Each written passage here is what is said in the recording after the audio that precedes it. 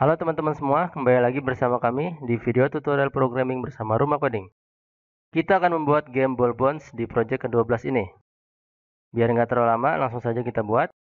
Kita siapkan dulu dua buah backdrop. Yang pertama yang saya gunakan adalah backdrop stripes. Yang satunya lagi kita edit saja dari backdrop satu. Kita beri saja tulisan U1 kita atur ukuran dan letak dari tulisan ini. Sekarang kita buat sprite menggunakan paint. Kita buat susunan balok pada sprite ini menggunakan rectangle. Kalian bisa membuatnya seperti yang ada pada video ini. Sprite ini nantinya akan digunakan sebagai pijakan dari bola agar bisa memantul ke atas. Gandakan sprite ini sebanyak 5.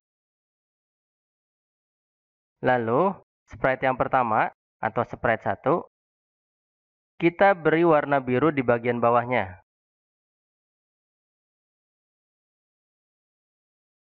Dan sprite yang kelima, atau sprite 5, berikan warna oranye di bagian atasnya.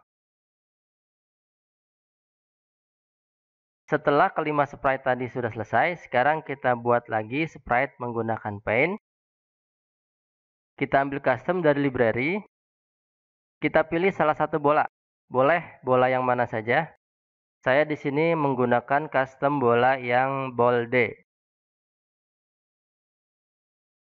Setelah itu, kita gandakan bola ini untuk membuat custom baru. Di sini jadi ada dua custom. Yang pertama bold dan yang satunya lagi bold 2. Kita belah bola yang bold 2 menggunakan tools eraser. Setelah terbelah, kita putar bola yang sudah terbelah tadi. Kalau sudah, boleh ditambahkan bulatan-bulatan dot atau titik-titik di sekitar bola. Jadi bola akan terlihat seperti bola yang sedang pecah. Oke, semua sprite yang kita butuhkan sudah ada. Sebelum kita membuat script pada tiap sprite, kita buat dulu variabel klik pada variabel, lalu klik make variable. Kita buat saja namanya scroll y. Sekarang kita akan mulai memberikan script. Kita mulai dari yang bola dulu ya. Masukkan blok kode one green flag click. Lalu masukkan blok kode show di bawahnya. Masukkan lagi switch backdrop to. Ganti backdropnya menjadi stripe. Masukkan juga blok kode suite custom to. Pastikan terpilih yang bold. Tambahkan go to xy di bawahnya. Beri nilai x 0 dan y juga 0. Lalu masukkan set variable to. Ganti variabel menjadi scroll y dan beri nilai 0. Masukkan blok kode forever di bawah scroll y Lalu di dalam forever, masukkan blok kode if then. Di depan if then, masukkan blok kode dari sensing, case space press. Ganti space menjadi right arrow. Di dalam if, masukkan change x by, beri nilai 5. Kemudian kita gandakan saja blok kode yang if. Letakkan di bawah if yang sebelumnya.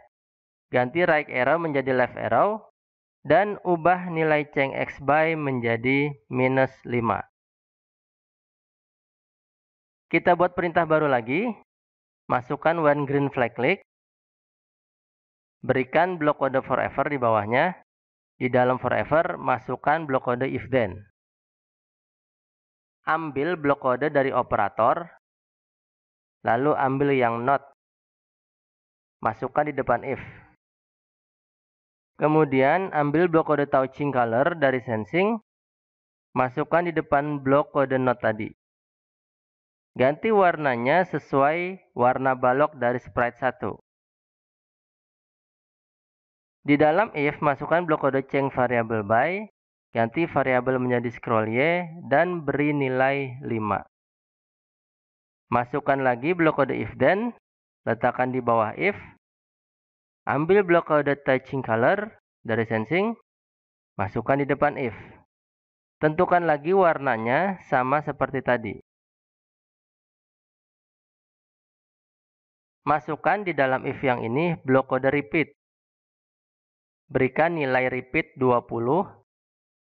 Lalu masukkan change variable. Ganti variabel menjadi scroll Y dan isikan nilainya minus 5. Gandakan blok kode repeat ini, lalu letakkan di bawahnya. Kita buat lagi perintah baru. Masukkan when green flag click. Lalu masukkan blok kode forever di bawahnya. Di dalam forever, masukkan blok kode if then. Ambil blok kode touching color. Masukkan di depan if. Ganti warnanya dengan warna bagian bawah dari sprite 1. Yang warna biru ini.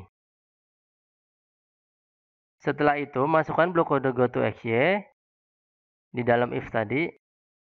Beri nilai 0 untuk x dan y. Tambahkan set variable to, ganti variabelnya jadi scroll y, dan beri nilai 0. Masukkan lagi if then di bawahnya. Ambil lagi touching color, Ganti warnanya sesuai dengan warna bagian atas dari sprite 5, yang warna oranye. Lalu di dalamnya masukkan blok kode switch custom to, ganti menjadi bold 2, tambahkan star sound pop, beri blok kode wait 1 second, ubah menjadi 0,5, di bawahnya masukkan repeat, Beri nilai 10 di repeat. Dan di dalam repeat, masukkan blok kode change color effect by. Ganti color menjadi ghost dan beri nilai 10. Di bawah repeat, masukkan blok kode switch backdrop to, pastikan terpilih backdrop 1, dan terakhir tambahkan height di bawahnya. Oke, script untuk sprite bola sudah selesai.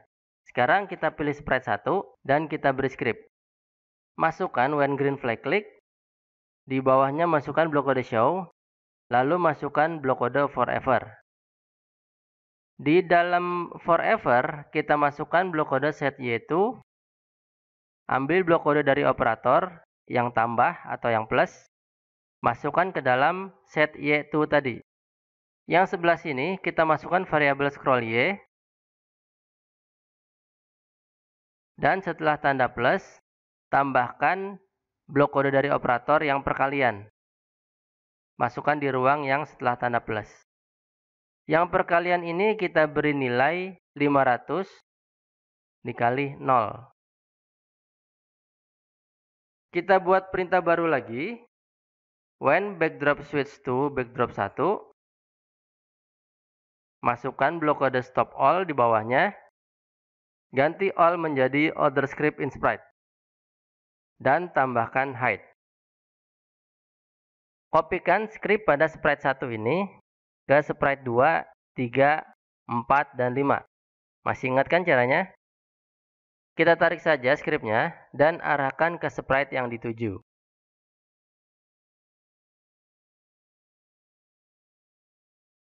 Setelah semua sprite, dari sprite 2 sampai sprite 5 dikopikan scriptnya, ada yang harus kita ubah sedikit.